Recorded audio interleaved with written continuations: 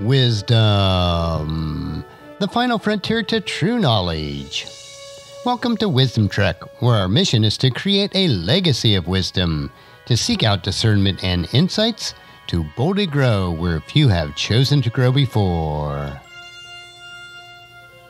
Hello, my friend. I am Guthrie Chamberlain, your captain on our journey to increase wisdom and create a living legacy.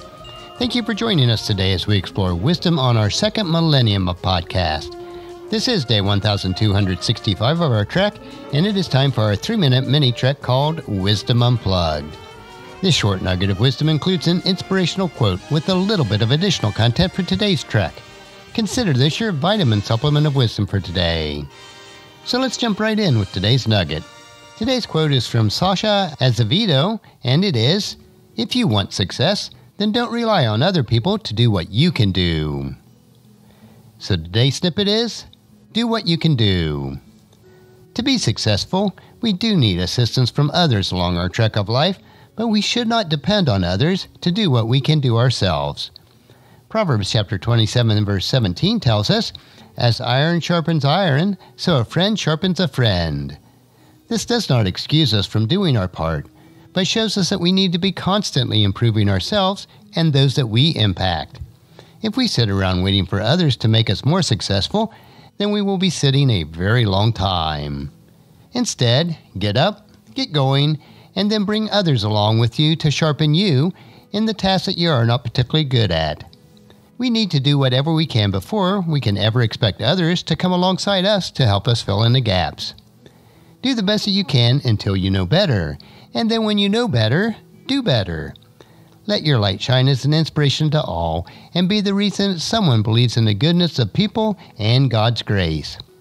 Telling the world that you are trying is not doing. Don't make excuses, produce results. This is when you'll have success for yourself and you will sharpen others so that they can be successful also. Romans chapter 15 verse 2. We should help others do what is right and build them up in the Lord. And that's a wrap for today's Wisdom Unplugged quote.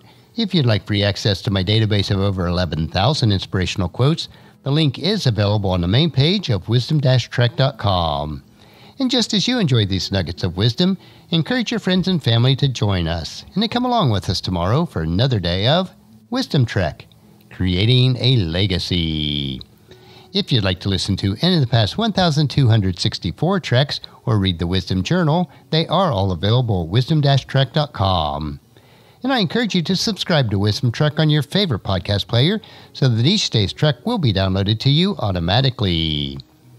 And thank you so much for allowing me to be your guide, your mentor, but most importantly, I am your friend as I serve you through the Wisdom Trek podcast and journal each day.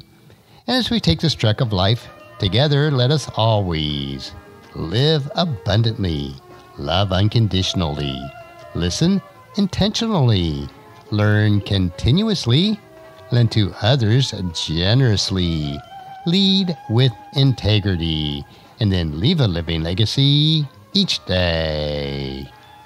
I am Guthrie Chamberlain, reminding you to keep moving forward, enjoy your journey, and then create a great day every day.